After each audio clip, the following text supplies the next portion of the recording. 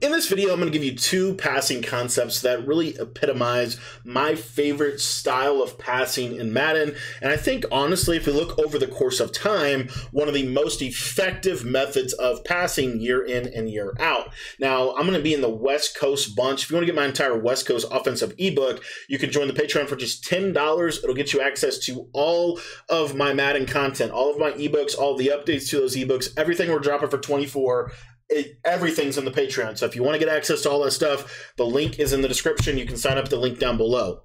All right, so West Coast Bunch, and we're talking today specifically about a concept um, that I really like year in and year out, and it's really um, it's what I call attacking the middle of the field. Okay, so and I'm going to set this up a little bit. So uh, real quick, I want to set a couple of audibles for our time here today. So what we're going to do is we're going to have deep attack, we're going to have mesh post, and really, what you want to have, and this is what makes Bunch so good, is it has these really nice post routes from both sides.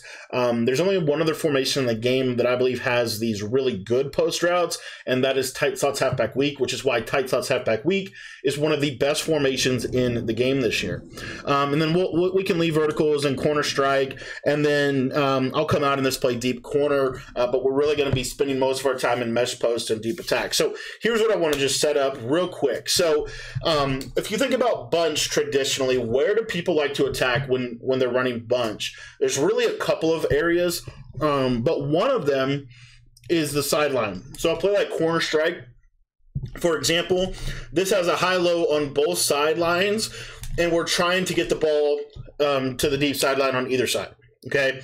So especially if it's man to man, like this is a really good play this year. If you re C route the solo wide receiver, he can get pretty good separation against man to man on the cut, like just like that, and you have a chance to get that to the sideline. Now against zone coverage, um, let's say for example you wanted to pl- uh, do something like this against zone coverage, you'd probably want to flip your bunch and have more of a setup like this, but it's still the same basic thing where we're trying to attack one of the sidelines deep down the field, as you can see. So if you think about the counter, um, what is the natural counter to this? Okay, there's really two counters. Number one is to send pressure into shade outside, um, or to play what I call bracket coverage. Um, so it looks something like this, where we have outside leverage. Um, so we have some outside zones that are designed to bracket the sidelines that makes throwing either one of these routes relatively difficult. Okay, because um, you see they're bracketed to the sideline, and we're gonna the the opponent's gonna force us uh, to throw the ball in the middle of the field. The same thing is also is also true. Okay, the same kind of uh, concept is also true with what's known as Mabel coverage. So let's say we wanted to attack the short side of the field. Maybe they would have to get you to get into this little flip game, but basically you'd be walking into a defense that looks kind of like this. Um, this is a double Mabel concept with a user being in the middle of the field. So if you think about this from a route progression, how are we going to attack?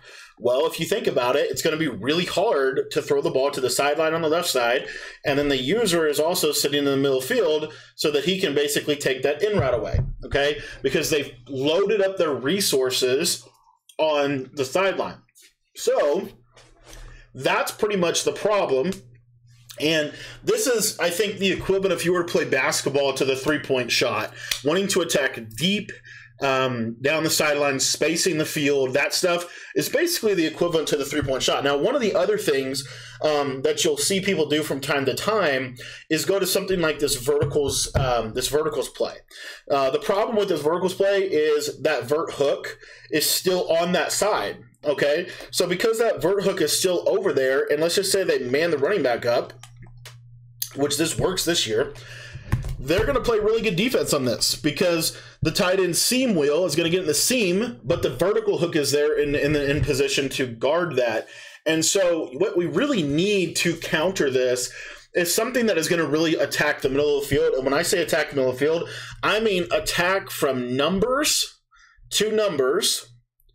And also, I would recommend that they that the uh, attack goes from somewhere from five to about 30 yards in the middle of the field. Okay, because the the zones that that is going to basically attack, if you think this out, is the one yellow zone in the middle of the field and the one user.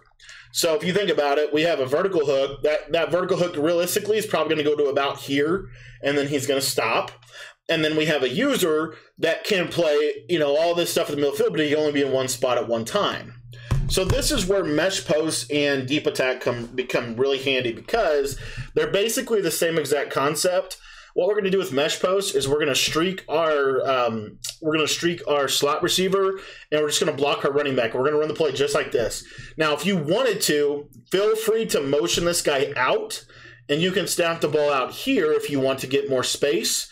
But look at where he's able to attack. Look at the space of, look at where he's actually at when he catches this football uh, in the replay. What you're going to notice is this clears out. Now, again, this is that vertical hook. Watch, he gets to about 10 yards, and what does he do? He stops. Why? Because now he's isolated here. So even if, let's say this is the user, and the user goes back into here, this guy's still open because he's getting pulled by this route, okay? That's really, really important.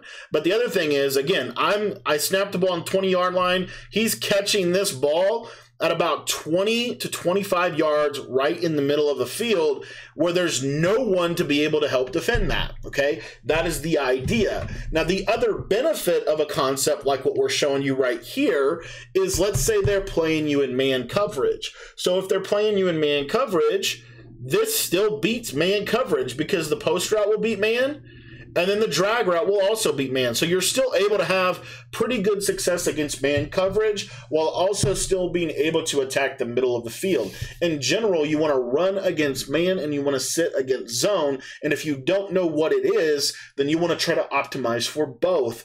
And you do that by running these crossers, these slant post style concepts.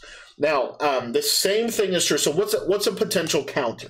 Um, a potential counter would be something like this cover four because we're going to put these safeties in the middle of the field. Now, the problem, and this is why the motion out is so critical, is if we do something like a cover four, then by motioning this out, we're still going to get that same problem because that inside quarter is not going to be over in that area. And so now you're able to attack there. Now, the other reason why cover four is potentially problematic is because cover four doesn't solve the problem.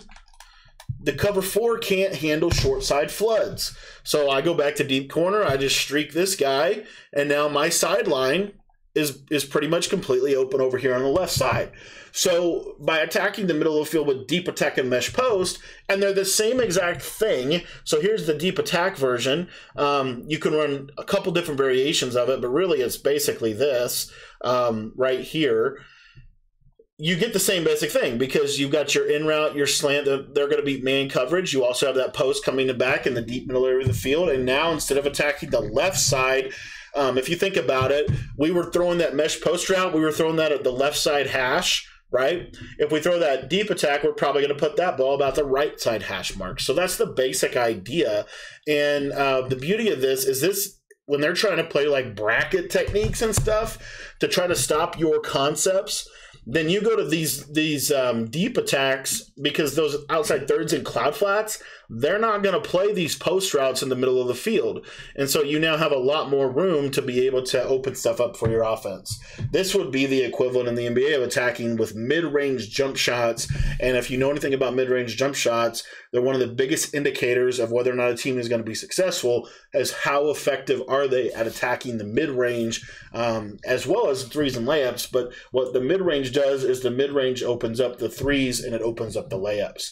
So, same concept applies to Madden. If you want to learn this a little bit more in depth and how to do this from multiple formations, join the Patreon. That's where you're going to get access to all of my Madden 23 resources, all of our ebooks, everything for just 10 bucks.